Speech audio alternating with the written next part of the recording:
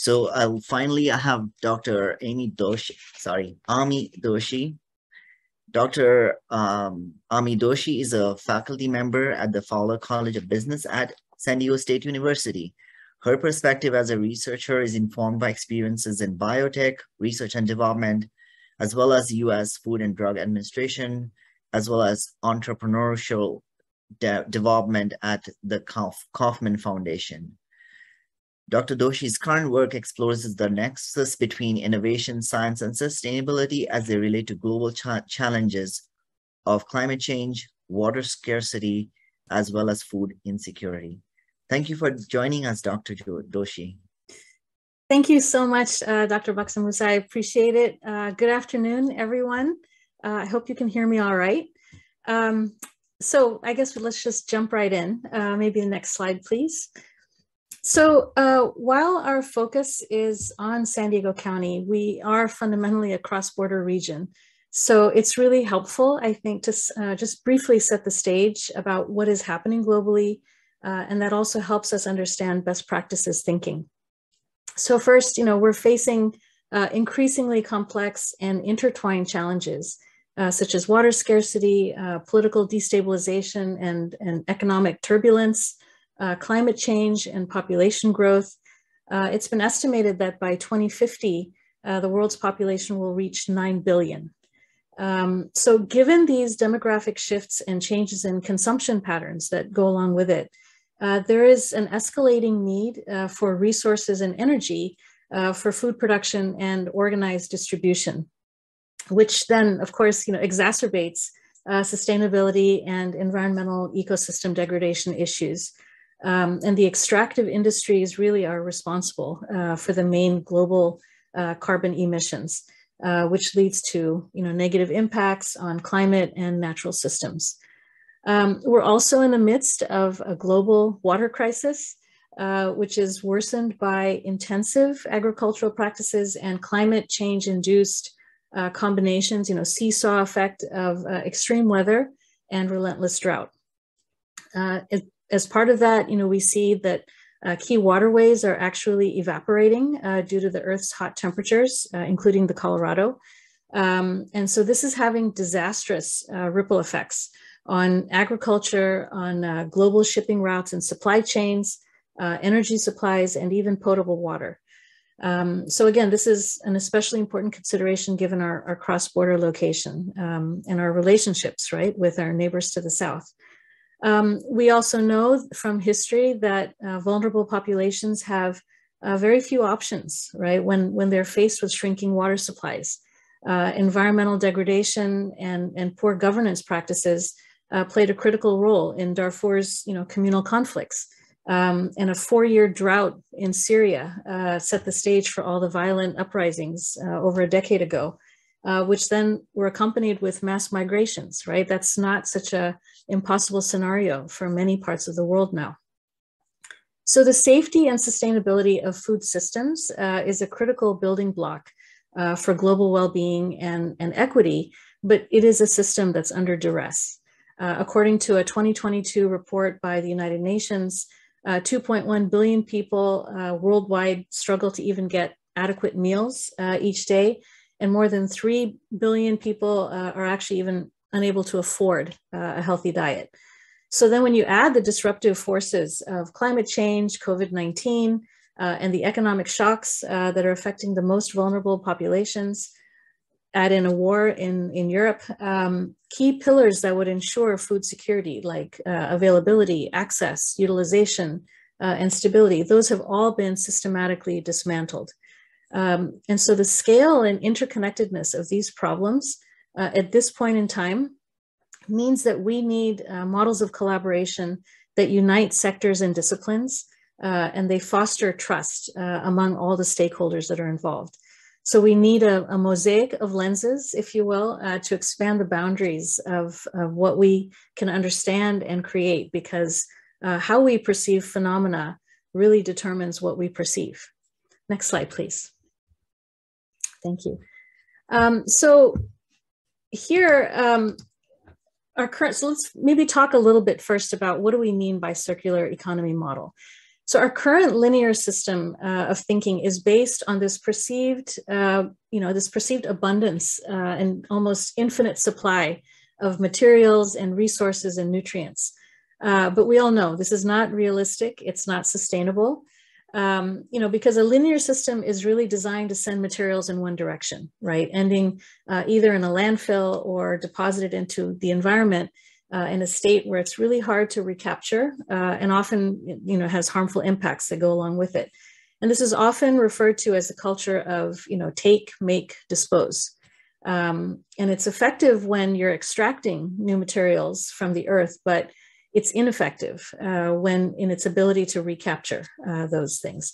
So the again, the linear system assumes that our supply of resources is infinite uh, and that the earth can absorb all of our waste. So this is where the elegance and, and kind of the innate logic of systems thinking really comes into play. Uh, circular economy uses uh, theory and principles from industrial ecology and, and builds on the idea that in, industrial systems work as natural ecosystems. Um, and so the aims of industrial ecology are to have a closed loop of materials and substances uh, and reduce both resource consumption and uh, and also reduce the discharges into the environment. And so by design, uh, circular economy is restorative uh, and it mirrors nature um, in actively enhancing and optimizing uh, the systems. And so also the rationale for circular systems is based on the reality of resource scarcity, right? Which is a fundamental difference from our linear system of thinking. Uh, and it also recognizes the environmental, uh, social, health, and governance problems uh, that come with the extraction of, of new materials from the earth. So this means that circular economy uh, model think, or thinking is, is a very promising strategy, right? Uh, to address the challenges that, that you know, affect our planet and support um, you know, sustainable and regenerative practices. Uh, because the priority of regenerative is to actually push beyond sustainability. Um, and create feedback loops between physical, natural, economic, and social capital uh, that are mutually supportive. And so this regenerative thinking provides structural support uh, to empower uh, marginalized and vulnerable populations. And it creates the conditions that are needed to adapt uh, a new set of values uh, and reorganize in ways that emphasize uh, collaboration and learning and just as importantly, innovation. Um, and so circular economy models, you know, very similarly are focused on the optimal uh, use and reuse of resources uh, along the entire value chain, uh, from raw material extraction all the way to consumption. Um, so products gain value as they're manufactured, um, though the, you know, through the input of materials and labor and energy. Um, recycling a product uh, captures less value um, than we would imagine because it requires energy to do that and some materials actually break down uh, in the recycling process. Um, so finding ways to reuse uh, a product keeps much of that original value. Um, now, implementation of uh, you know circular economy is a very popular uh, paradigm, but it's not always easy to undertake um, because, like all other sustainable models, um, it requires not only innovative concepts but innovative actors. And by that, I mean uh, it, it requires, uh, or implementation requires support from stakeholders who will help to create the conditions uh, for changes in policy and decision-making tools. Um, so, you know, this is something that we assume, but it's not an easy thing. Okay, next slide, please. Okay, uh, so even with all of these innovative concepts and, and cooperative and collaborative actors, we still need to resolve the, the fundamental issue of how critical elements of a food system, and by this I mean food and water, um, are economically conceptualized. Um, cultivated food is, is fully privatized, and which means that uh, human beings can eat food as long as they have the money to produce it or buy it. Uh, so with this, you know, no money, no food uh, rationale, uh, hunger still prevails in, in a world, you know, of abundance. Um, so in order to provide a sound foundation for a transition to sustainable food systems, um, the very nature of food as a purely private good has to be uh, reconceptualized and challenged and actually reversed. Um, food should be viewed as a common good. And so when we use this lens, uh, it allows us to, to redesign the, the dominant agro-industrial food system uh, that sees food as merely a commodity. Um, instead, we want to transition our thinking towards a more equitable uh, and farmer-centric uh, food system, much like my colleagues were speaking about before me. Um, so, you know, already several food-related elements are already considered common goods, right? You know, fish stocks, uh, agricultural knowledge, right? Uh, food safety regulations, um, and even things like, you know, hunger eradication and public health, right? So once we embrace the idea that uh, that the commons can be applied to the to food, uh, we can think about alternative mechanisms to govern its its uh, production and its distribution. Um, for instance, maybe a, a hybrid, like tricentric uh, governance system that's characterized by market rules, uh, public regulations, and, and collective action. So this, you know, and I, I guess I could talk more about it, but I, am noticing I only have a few minutes. But uh, with this management of common pool resources or natural, it's, it's a classic collective action dilemma. And typically, you know, this the governance of these global commons focus on uh, nation states, right, as, as the appropriate actor for managing these resources um, and or the process. But you know, international cooper cooperation efforts are often uh, punctured by you know free rider problems, you know, opportunistic behaviors. And so, you know, what we want to do is create uh, something called a polycentric uh, or ecosystems approach to which recognizes the fundamental inter interdependence of multiple interests, multiple institutions, and uh, mechanisms that enable trust, uh, reciprocity, commitment, uh, and it empowers stakeholders to take the actions that are necessary uh, without waiting for governments to make the first move. Um, and, I, and the idea here is that rather than concentrating power at global or national uh, levels, authority should be vested in individuals and communities and local governments and NGOs um, because they're the ones who can provide legitimate and cross-disciplinary information uh, to policymakers, right, that reflect uh, the reality on the ground, the multi-layered reality on the ground. And, and also they have the skills to do what we call, you know, institutional navigation, figuring out, uh, you know, what are sort of strategically, what are the right venues in which to participate? Who are the right uh, stakeholders to speak with and, and, and get buy-in? Um, and so again, this is more a shift back to uh, decentralized network of, of, of food systems. Next slide, please. Okay. So digging a slightly little bit deeper, uh, this then raises the question of whether the circular uh, economy can actually mitigate resource use and climate change to the extent that it's needed. Um, it, you know, this offers circular economy, I'm just gonna say CE to speak faster. Uh, it potentially offers a way to decouple environmental impacts from economic growth, right? This is the, you generate more profit uh, while reducing environmental impact. Um, so it fits well with this prevailing economic growth narrative. Um, but, you know, this fit with business as usual uh, means that there's a risk that that circular economy would basically perpetuate this current state of resource use and climate impact um, and maybe even worsen it, right? Uh, so we already see this with uh, industries such as, you know, fashion uh, and packaging. So while uh, some of these initiatives for addressing sustainable production are useful and interesting, um, there is a there is a movement uh, called sufficiency-based circular economy that speaks to consuming less, the importance of consuming less. And so this has is does, does not fit with the business as usual modality.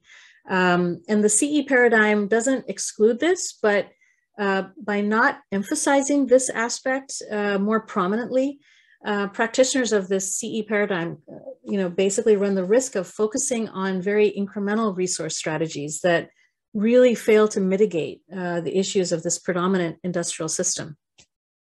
So the idea here, and if you can see in the, in the pyramid is that you move from a consumption oriented society towards a society that's based not only on, on circular economy, but on sufficiency.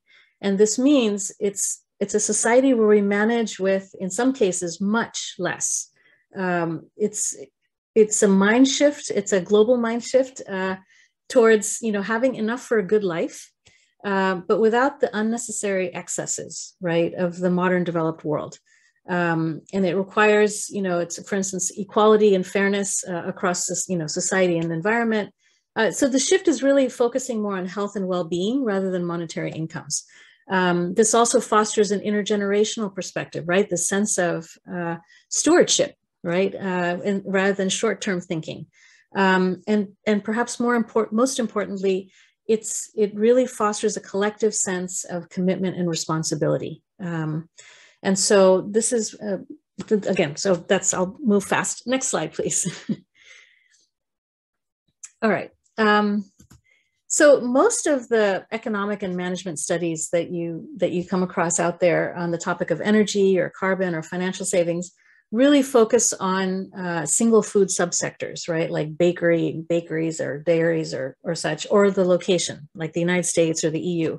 Um, there are not many assessments, unfortunately, on of developing countries to help us understand, like you know, BRICS uh, economies or even those in sub-Saharan Africa, um, because this industry is is fragmented, right? And and what we know is that um, there are a lot of local assumptions about a given process, even in our county, right, that, that really drive uh, our understanding of this.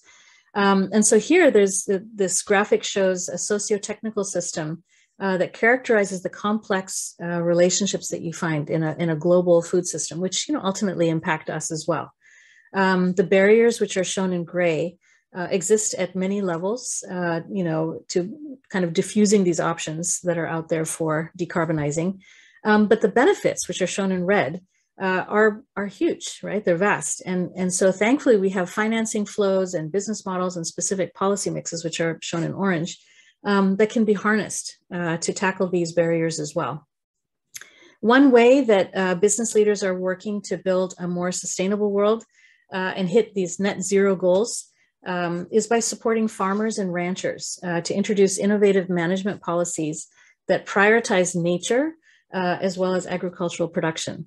Um, there's a project called the New Acre Project, um, is, is a model that allows corporations to support farmers uh, financially so they can still uh, you know, invest in adopting nature positive uh, practices into their operations. Um, the corporation basically is paying the farmer to do things differently uh, and so the farmer doesn't have to lose the income, right? That's kind of the premise of it. Next slide. So I just want to close by offering uh, a lens that, uh, for me at least, gives kind of a, univer a universal basis for why this matters. Uh, the South African term Ubuntu means humanity. Um, and the concept is often interpreted as, you know, I am because you are. Um, and it's the philosophy that we're bound together uh, in invisible ways. And we must care for those around us and succeed. And we succeed by relying on each other.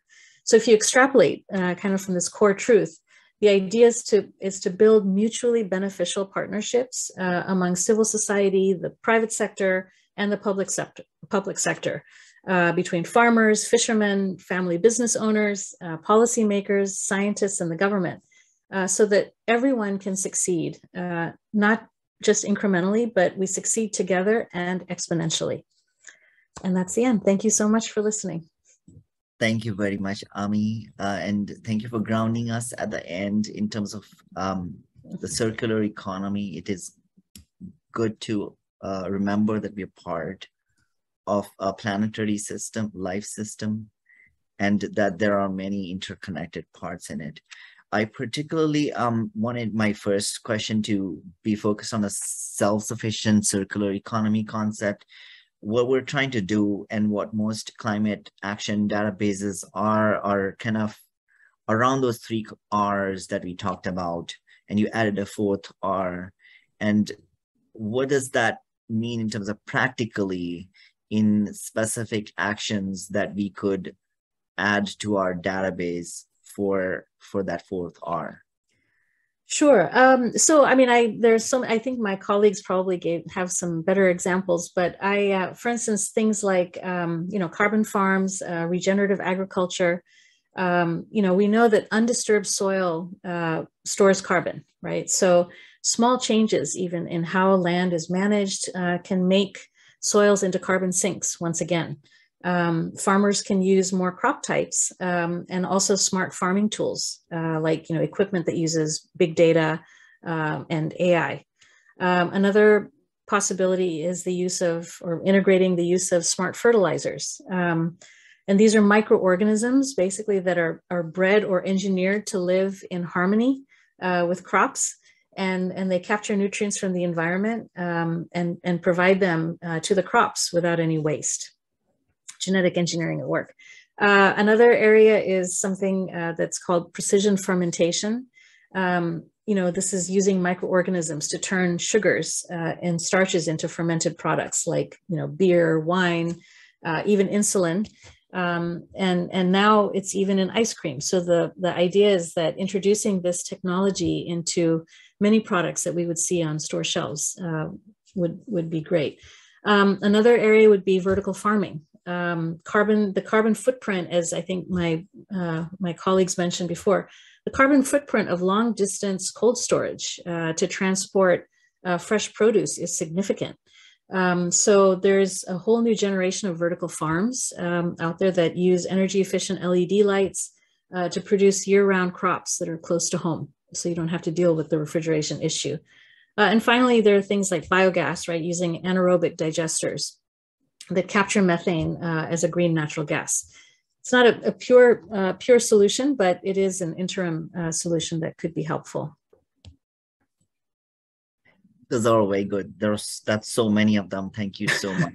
I just want to um kind of um highlight that the word when I said R, it it meant refuse. The fourth R. Oh, sorry. Okay. And, um, there's a pun there because refuse is also waste and we want to kind of move away from the term waste in how i'm reading this and uh, kind of in terms of a circular economy there is no waste uh, if you would want to add anything there in terms of our knowledge based on waste I think you know I, I, would probably just go back to this whole notion of a, a sufficiency-based uh, circular economy. Um, waste becomes an issue when when there's excess, right?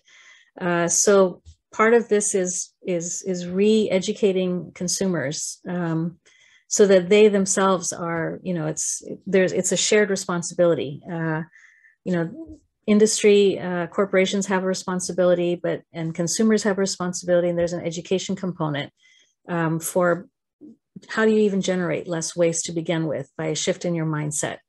Um, and waste that is generated uh, can be reused in the context of a, of a circular economy.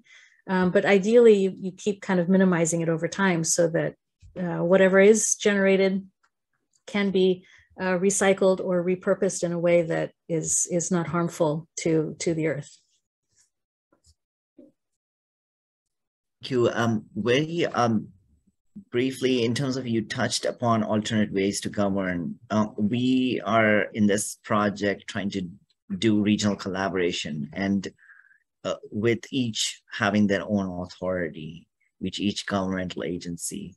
So also given the inter-sectoral uh, nature of a circular economy, it there are no silos, but there are also um, authorities vested in different bodies for specialization, say in transportation, land use, water, etc. How do you kind of see all that interplaying in San Diego and what kind of a role do you see for the county to play in this? I, you know, I great question. Um, so, so one thing we've learned is that you know the most intractable problems of our society, right, as you said, you, our society's grand challenges um, can't be explained or resolved through these fragmented approaches, right, that don't draw on multiple disciplines and and bypass the interdependence uh, between business and institutions and the physical environment. Um, so, you know, the government sector has a mandate, uh, right, to protect the public interest.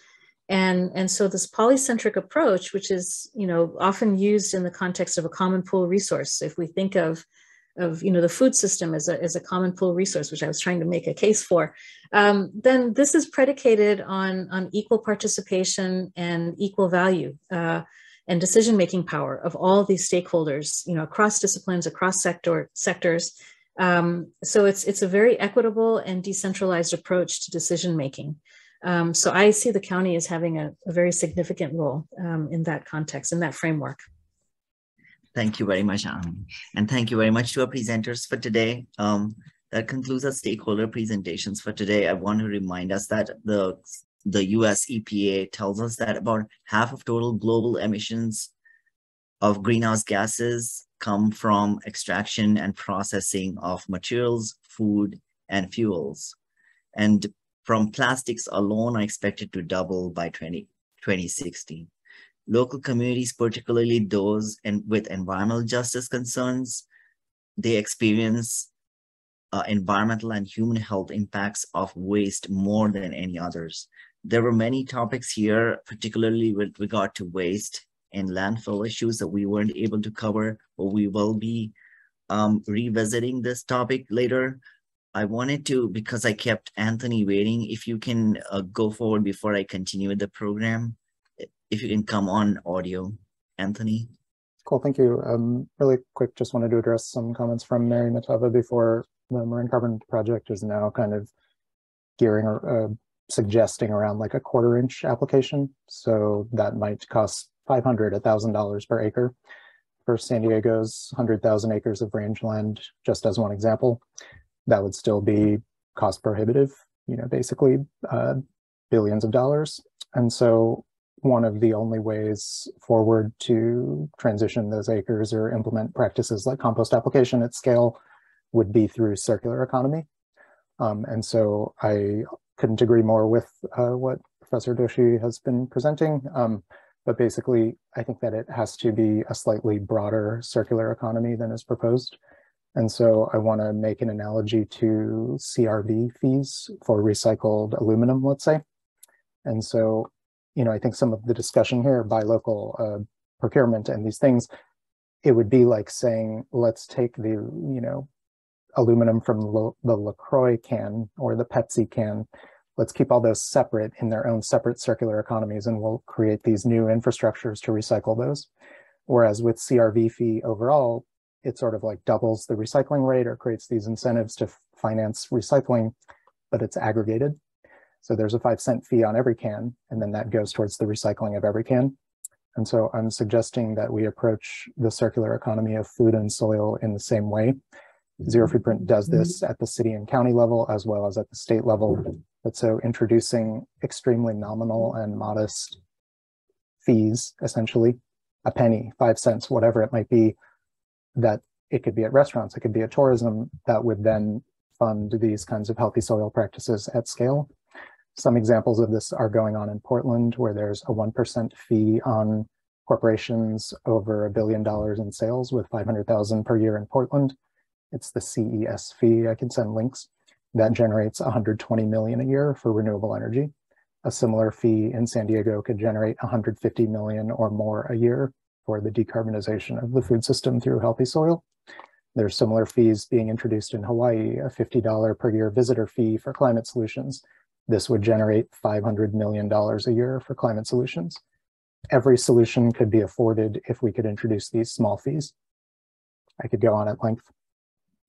Thank you so much, Anthony. Um, if you can send us the information as um, sure. just a reminder. Yeah, thank you. Just email us, chat. All of these are being recorded. Sure. And the presentations are being recorded in both English and Spanish channels. We will be posting these presentations publicly as well. So um, this is going to help us a lot in preparing the implementation playbook. So appreciate all your feedback. So now next, I'll just turn it over.